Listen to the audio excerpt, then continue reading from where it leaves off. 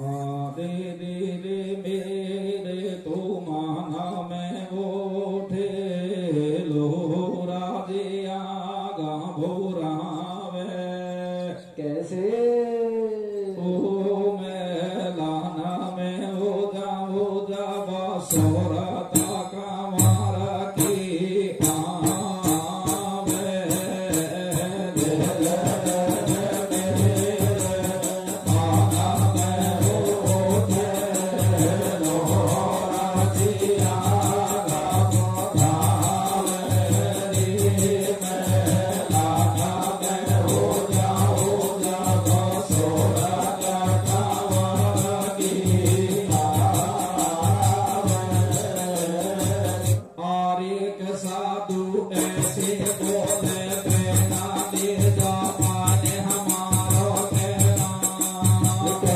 कैसे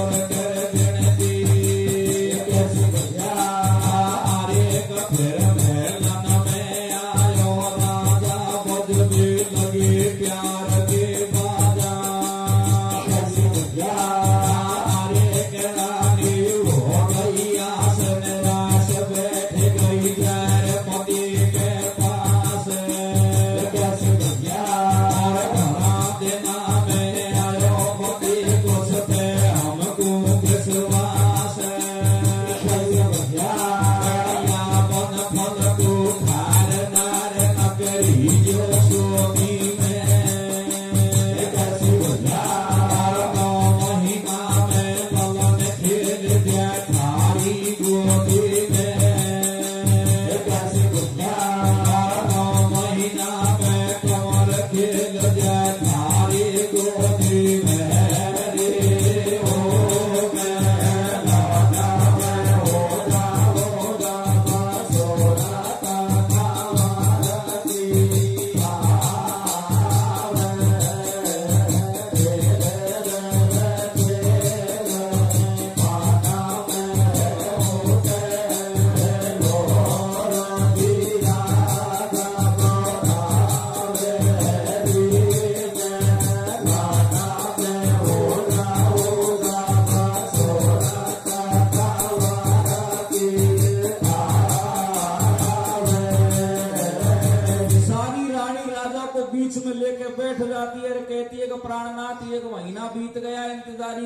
करते आज आप मेलन में आए हो, कुछ हृदय तसल्ली दिलाओ।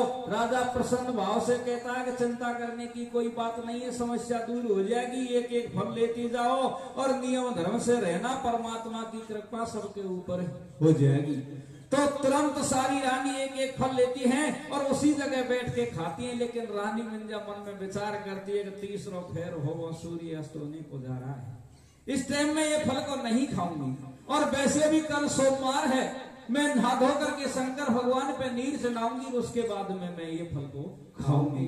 तो देखो सजनो सारी रानी खाती है, दूसरे दिन रानी मंजा नहा धो करके और शंकर भगवान पे नीर चढ़ाने के बाद में भेल में बैठ करके फल खाने की तैयारी करती है। उसी टाइम पे सोना नाम की गुजरी दूध बेचवा के लिए आ जाती है।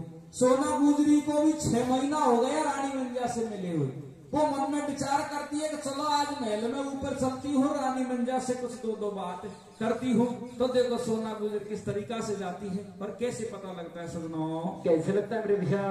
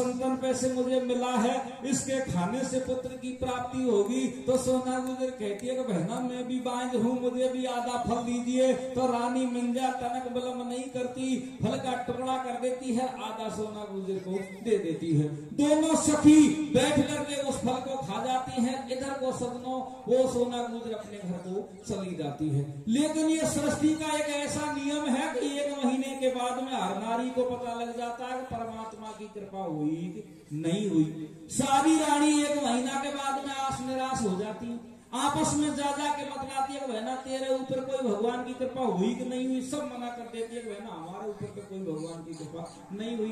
वो प्रसाद संतन का झूठा था, इस तरीका से बातचीत करती है। तो सारी सलाह मिला के एक बात सोचती है कि चलो रानी मंजा से नहीं पूछा।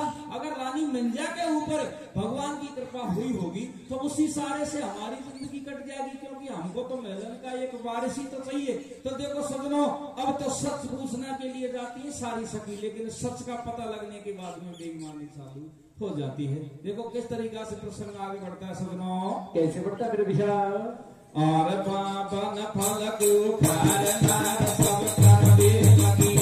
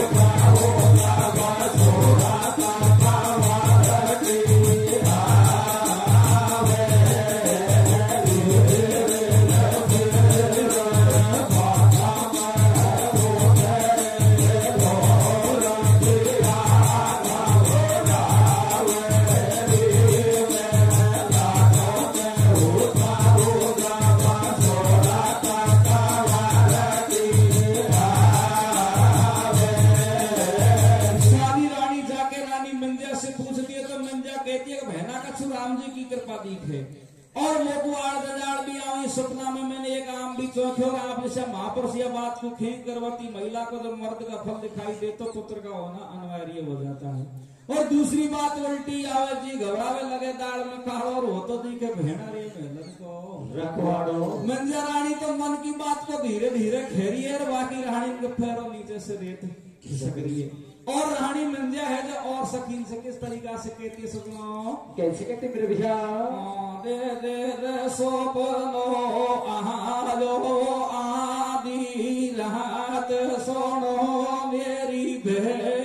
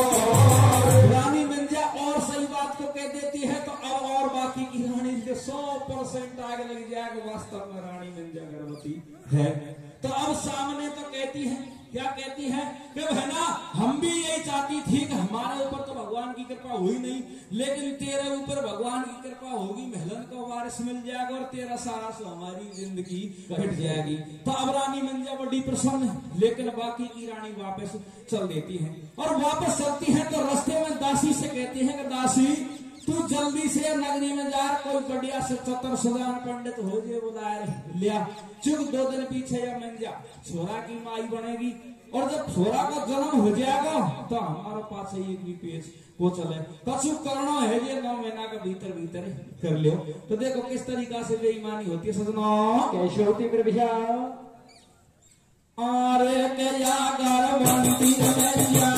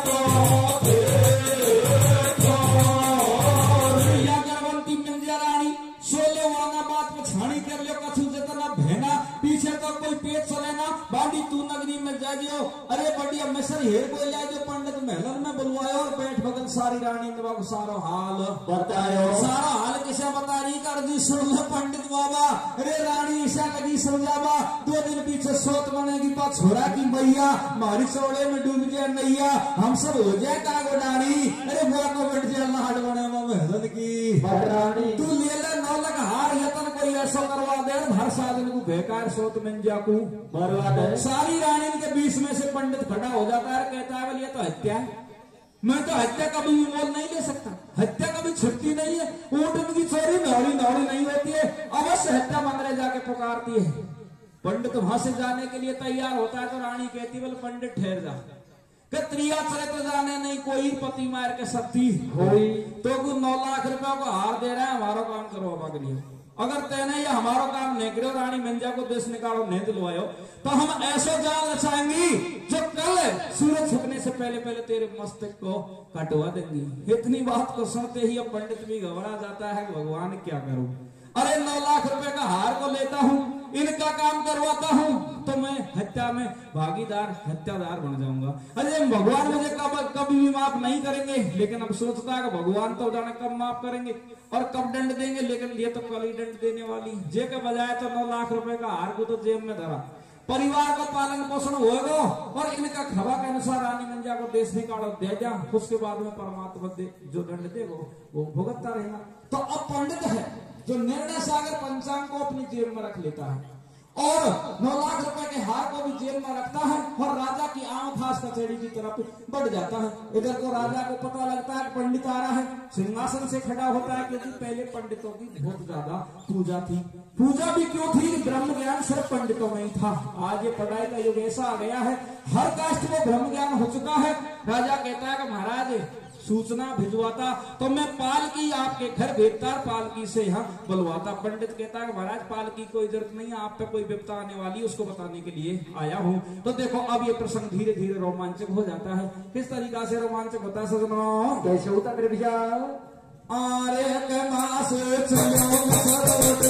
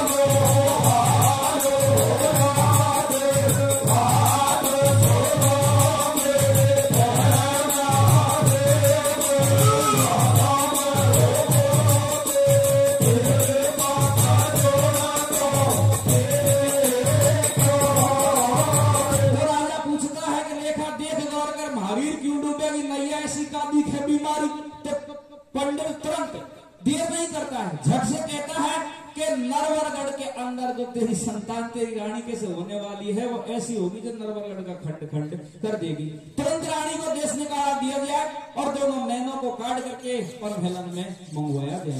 इतनी बात को सुन करके राजा सिंहासन से खड़ा होता है मंत्री को आज्ञा देता है, जाओ महल में जाकर रानी मंजा को आमखास में बुला के लाओ। रानी मंजा आती है और सभा के बीच में घूंघट करके हाथ जोड़ के खड़ी हो जाती है। इधर को राजा कहता है कि, हे प्राणी प्यारी, अगर तू पति, व्रता है और धर्म निभाना जानती है।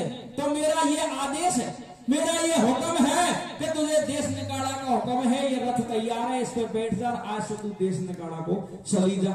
इतनी बात को सुन करके अब मन में विचार करती है रानी मिंजा कि हे भगवान, देश निकाला का हुक्म है, और वन में जाके मुझे खत्म करवाएँगे, और मैं पतिव्रता नारी हूँ, पति की आज्ञा का पालन करना मेरा धर्म है। लेकिन पतिव्रता स्त्री का एक धर्म, दूसरा ये भी बनता है कि जब वो गर्भवती होती है तो वो मन में ये सोचती है कि चाहे मैं मर जाऊँ सारा संसार मर जाए, लेकिन मेरे गर्व को कुछ नहीं होना चाहिए। और गर्व का जन्म होने के बाद में चाहे मैं प्राणों की खुद भिक्षा मांगूँगी, खुद मत मांगूँगी और मर जाऊँगी, लेकिन पहले कुछ नहीं होना चाहिए, ये भी धर्म है। तो देखो अब रानी मंजा है, जो भरी सभा के बीच में किस तरीका से हाथ जोड़ती है और क्या कहती है और किस तरीका से वो नरवरगढ़ से रवाना होती है? प्रसंग आगे रोमांचक कैसे होता है? सुनो। कैसे होता है कि एरे मारा राजा ऐसो लाग्यो का बोवे दो सब पता तो डाली दे सोखे चेनो में। कि चोखो गाड़ो किए बनाब साजन मारा रे। थारी प्यारी तो रोवे ने रांगो बेलोवे कि महाराज, ऐसी मेरे से क्या गलती हो गई राजा सुनने को ही तैयार नहीं। पंडित की बात भेजे में बैठ गई। वो कहता है कि फालतू बकवास करना बंद कर दे। और रथ का चढ़ जा, रथ तैयार है। और मेरा तो हुक्म यही है कि देश निकाला को चली जा। तो रानी तुरंत रथ पे चढ़ जाती है और रथ पे चढ़ करके सभा को हाथ जोड़ती है। क्या कहते है क्या कहते मेरे भैया आरे तो छोड़ा दिए रंग महला भोग, क्या सहारी? कैसे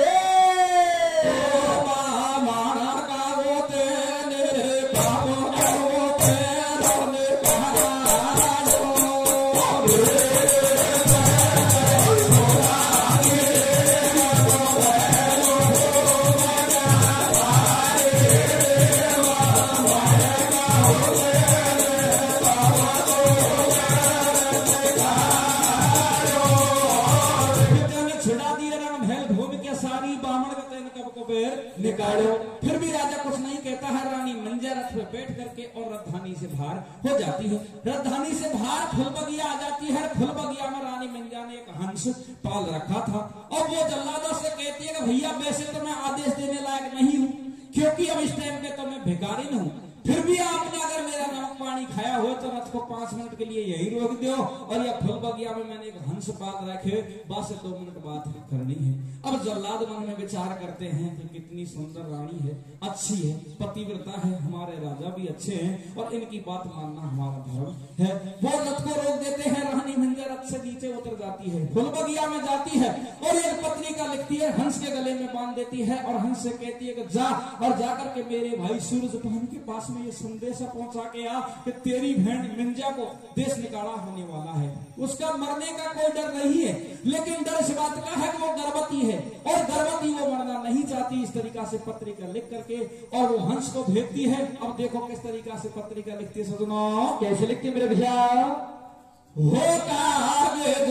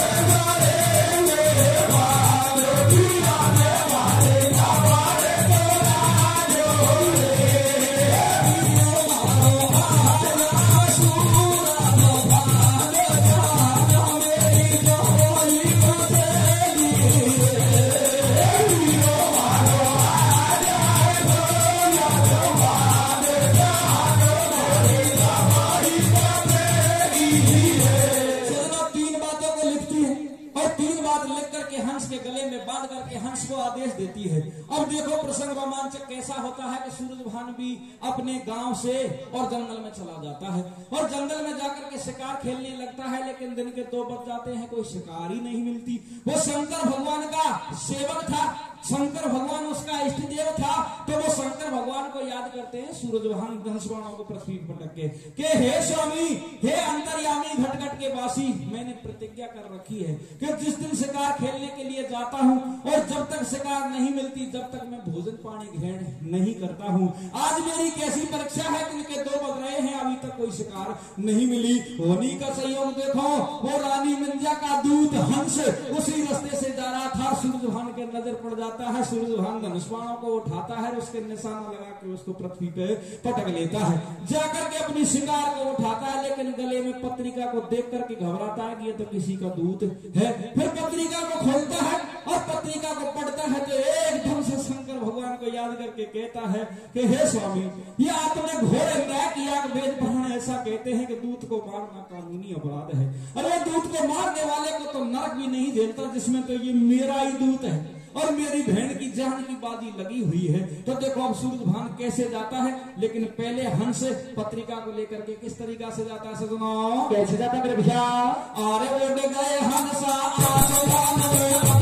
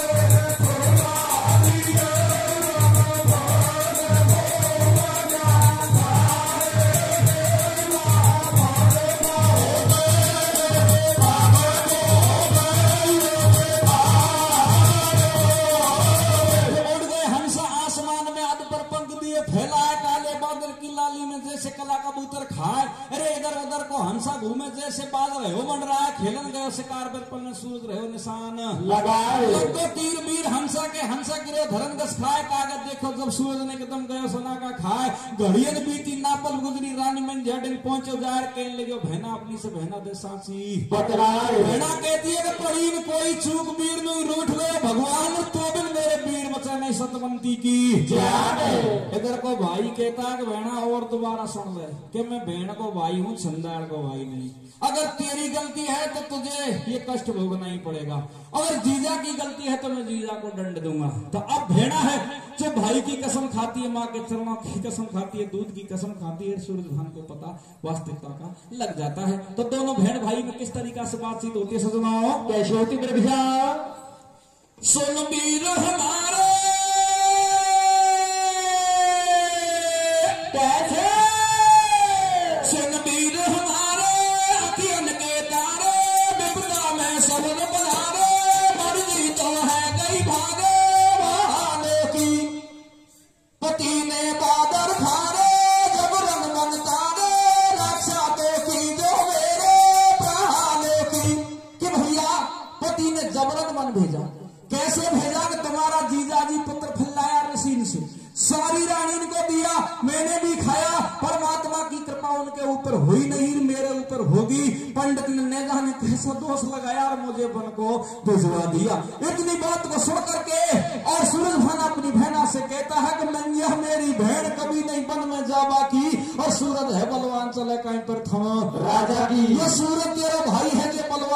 शंकर भगवान को वरदानी है राजा की कुछ नहीं चलेगी। तो वो जल्लादो से कहता है जल्लादो जाओ, थारो तो राजा है और मेरो जीजा है। वो जीजा से जा रही है खेदे जो के बाकी भेड़ है सूरज भान की मंजिया। ये निर्दोष है और निर्दोषी को दंड देना बेकार है। तू बात को मान ले तो जल्लाद जाते हैं सुनो और जाकर के राजा से सारी बात कह देते हैं, लेकिन राजा फिर भी अभिमान का मारा, समझ नहीं पाया और अपनी चतुरंगनी सेना सजा करके और फुल बगिया में आ जाता है। तो जब फुल बगिया में आ जाता है, दोनों थोकन में घोर संग्राम होता है।